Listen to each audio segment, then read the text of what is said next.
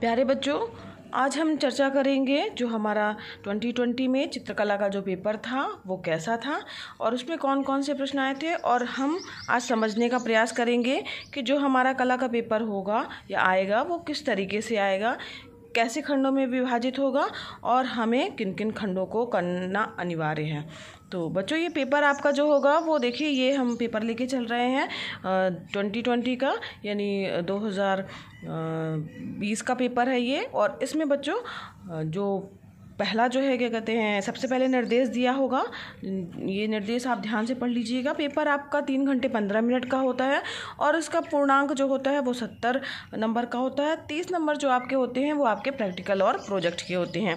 तो आपको उसमें जो है वो तीन प्रोजेक्ट बनवाए गए होंगे आपके विद्यालय में और कौन कौन से प्रोजेक्ट हैं उसका एक अलग वीडियो चैनल पे डाला हुआ है किन किन प्रोजेक्ट को आप बना सकते हैं तो वो आप अलग से जाकर देख सकते हैं और अब हम चर्चा कर लेते हैं हमारे पेपर की। तो बच्चों, ये पंद्रह मिनट जो हैं वो आपको प्रश्न पढ़ने के लिए दिए गए हैं। प्रश्न पत्र को आप अच्छे से पढ़िए पूरा पेपर, उसके बाद जो है पंद्रह मिनट के बाद जो है वो तीन घंटे का समय आपको मिलता है आपको अपना कला का काम करने के लिए। निर्देश जो दिए गए हैं, अच्छे से पढ़ लीजिएगा।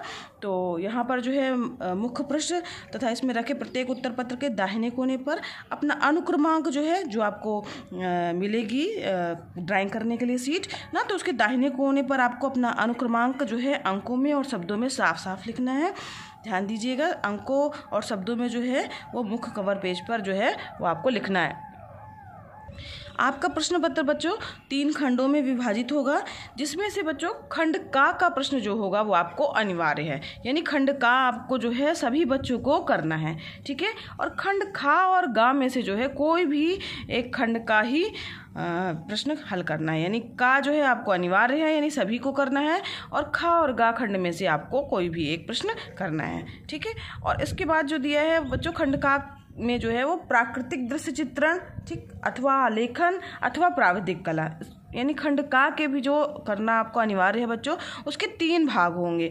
प्राकृतिक दृश्य चित्रण पहला भाग होगा, ठीक, उसके बाद आलेखन होगा, और तीसरा होगा प्राविधिक कला। तो इसमें से बच्चों कोई भी एक करना है आपको, प्राकृतिक दृश्य चित्रण या तो बनाइए, या तो आलेखन कीजिए, या तो प्राविधिक कला वाला प्रश्न हल करना है। ठीक है तो किसी भी एक का ही आपको चित्रण करना है।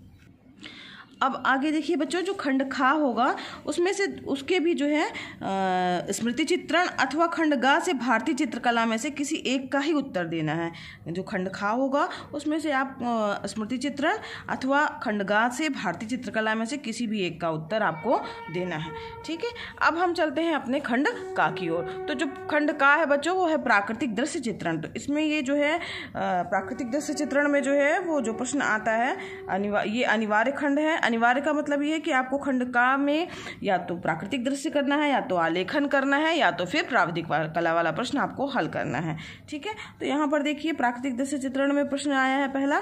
अपने उत्तर पत्रक पर सामान्य हाशिया छोड़ते हुए 25 सेंटीमीटर इंटू बीस सेंटीमीटर के आयत में ऊषाकालीन ऊषाकालीन से क्या मतलब है कि सुबह मॉर्निंग का जो सीन होता है उसके लिए ग्रामीण दृष्ट ग्रामीण दृश्य चित्रण कीजिए जिसमें झोपड़ियों के पीछे छोटे बड़े पेड़, आकाश में उड़ते पक्षी, पेड़ों के पीछे उषाकालीन सूर्य दिख रहा हो। सैर का आनंद लेने नदी की ओर जाता एक व्यक्ति। तो ये आपको इतना बनाना है। और जो ये बच्चों, चित्रण होगा, या संयोजन जो होगा, वो स्पष्ट होना चाहिए, सुंदर एवं प्राकृतिक होना चाहिए।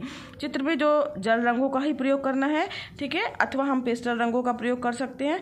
जल रंग है तो वाट्समैन पेपर और पेस्टल रंग है तो पेस्टल पेपर का प्रयोग हमें करने के लिए मिलेगा। जो पेपर है वो उसमें जो है आपको करना है।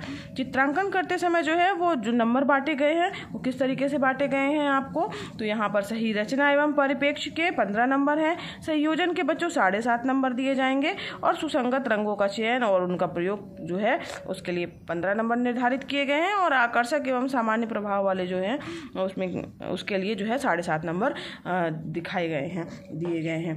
तो ये बच्चों प्राकृतिक दृश्य चित्रण से संबंधित जो है प्रश्न जो है इसके जस्ट पहले जो वीडियो बनाया था मैंने, वो उसमें बताया गया है। आप उसको जाके ज़रूर देख लीजिए, किस तरीके से बनाया गया है। उसमें जो ऊषाकालीन यानी सुबह का ग्रामीण दृश्य दिखाया गया है, झोपड़ियों के पीछे छोटे बड़े पेड़ हैं, आकाश में उड़ते हुए पक्षी हैं और सूर्य दिख रहा है उसमें और सैर का आनंद लेने के लिए नदी की ओर जाते हुए व्यक्ति को भी दिखाया गया है।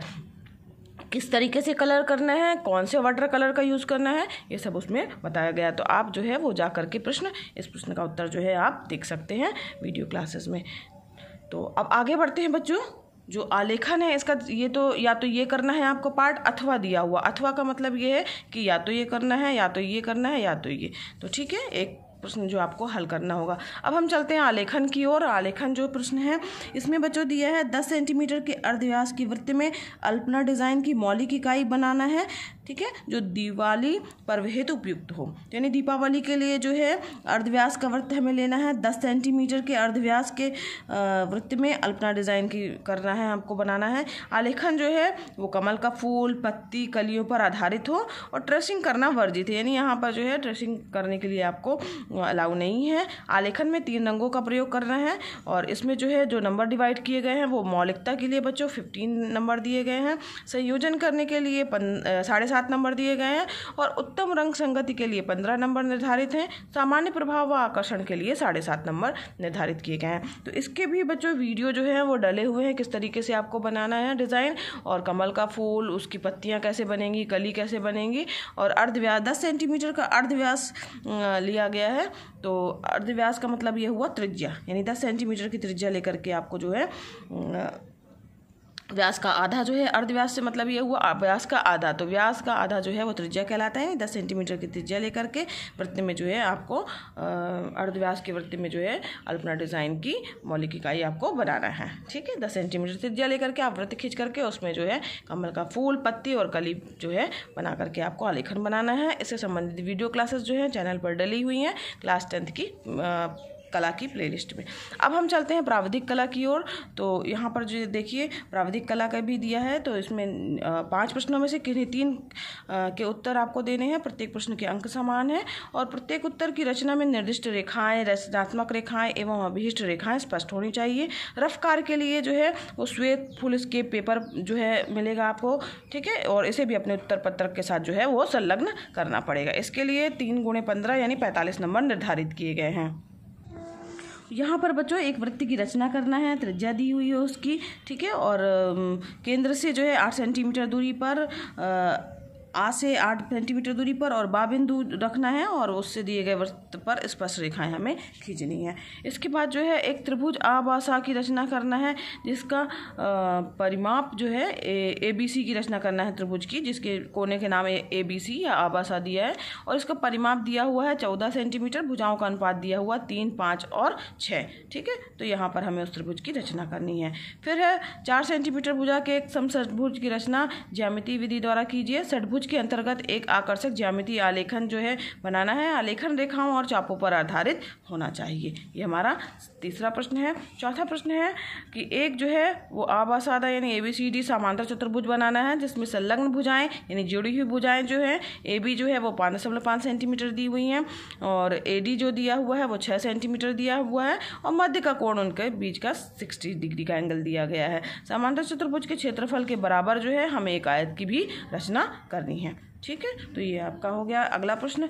और लास्ट प्रश्न है इसका दो दशमलव पाँच सेंटीमीटर से एक मीटर की दूरी प्रदर्शित करने वाली एक मापनी की रचना करना है, जिसमें मीटर और डेसी मीटर पढ़े जा सके। और मापनी का निरूपक जो है, वो भिन्न निरूपक भिन्न ज्ञात करना है। और मापनी पर तीन मीटर और सात डेसी मीटर दूरी को प्रदर्शित हमें करना है। इसमें तीनों के लिए जो है, पाँच पाँच पाँच, यानी तीनों के लिए ये नंबर निर्धारित किए गए हैं।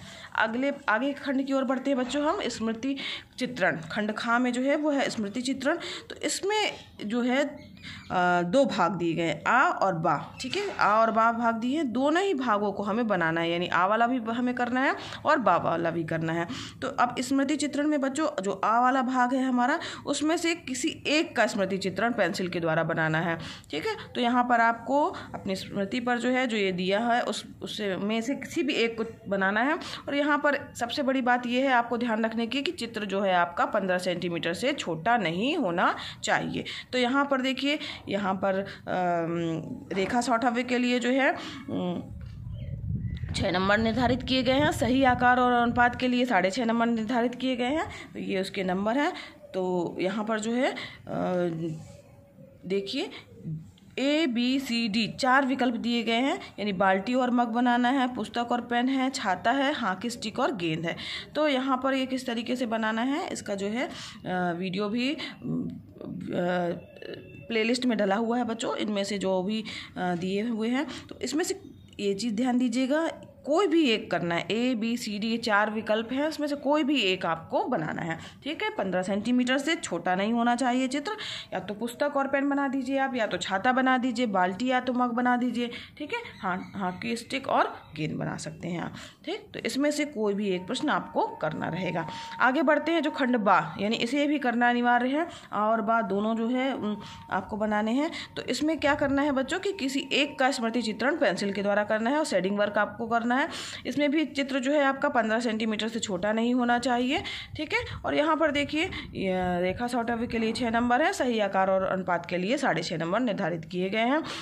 अब इसमें जो है, इसके भी विकल्प दिए गए हैं, पत्तियों सहित आम, ठीक है? यानी आम का चित्र आपको बनाना है, उसमें पत्तियाँ भी होनी चाहिए, ठीक? या तो सलजम पत्ती के साथ बनाना है, या तो गाजर का चित्र बनाना है पत्ती के साथ में, या तो फिर दो केले एक जोड़ा में, यानी दो केले जो है, साथ में जुड़े हुए आपको बनाने हैं। तो ये ए बी सी डी में से ऐसा नहीं करिएगा बच्चों कि आप सभी बना दें, केवल एक भाग आपको करना है।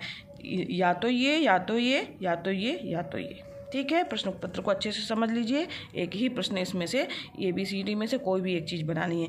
यानी आपके स्मृति चित्रण पर जो है दो चित्र बनेंगे जो शेडिंग वर्क वाले हैं। ये एक प्रश्न, एक चित्र जो रहेगा, वो आपका इसमें से होगा खंड आ में से और दूसरा चित्र होगा खंड बा में से। ठीक है? समझ में आ गया बच्चों? अब हम देखते हैं बच्चों खंड गा की ओर, ठीक? तो खंड गा यहाँ पे विशेष ध्यान दीजिएगा खंड का तो आपको अनिवार्य है और खंड खा जो कि ये हम लोगों ने अभी किया, या तो आपको स्मृति चित्रण बनाना है ठीक है?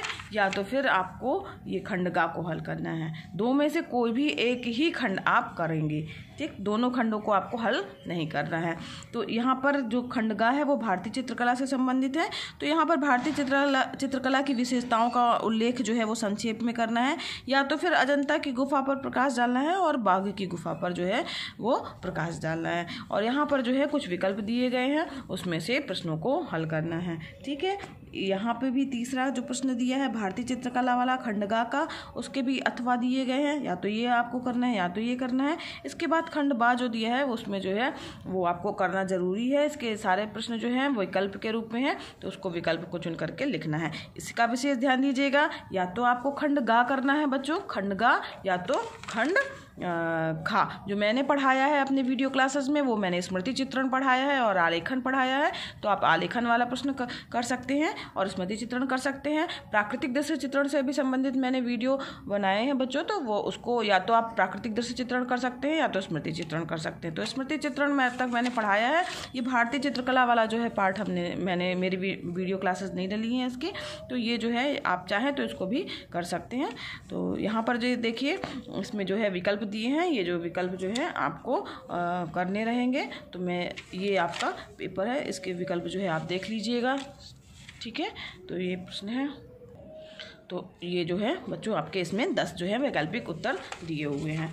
तो ये हो गया आपका पेपर। आपको समझ में आ गया होगा कि किस तरीके से आपका पेपर आएगा। ठीक है?